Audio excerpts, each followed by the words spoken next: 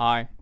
Really good to have you guys all here tonight. And as the people who are living in Eindhoven know, it's been a very troubling two days. And for me, especially because um, the piano at the central station was really wrecked. And almost two years ago, I started a campaign so that there would even be a piano. And we succeeded with the help of many, many people on Facebook also supporting it. And I got to open the piano. And that was a very happy moment. But now seeing it wrecked was a really sad one. So that happened yesterday, and today I went and had a look, and most of the keys didn't work anymore, but some of them still did. So I decided to to play anyway and to see uh, what what would come out of it. And um, yeah, so an improvisation resulted then.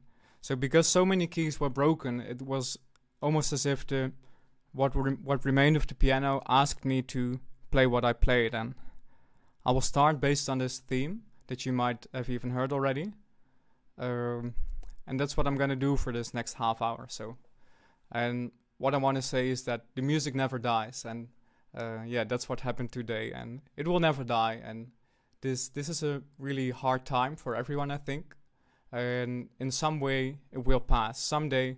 I don't know when, I don't know how, but it will all pass and the music never dies so thank you thank you very much for listening tonight and i hope you enjoy it